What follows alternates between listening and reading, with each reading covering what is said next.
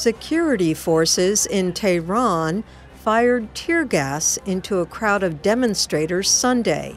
The Iranians were protesting their military's accidental shooting down of a Ukrainian passenger plane last week. In the Philippines, officials ordered hundreds of thousands of people near Manila to leave after the Taal volcano exploded on Sunday.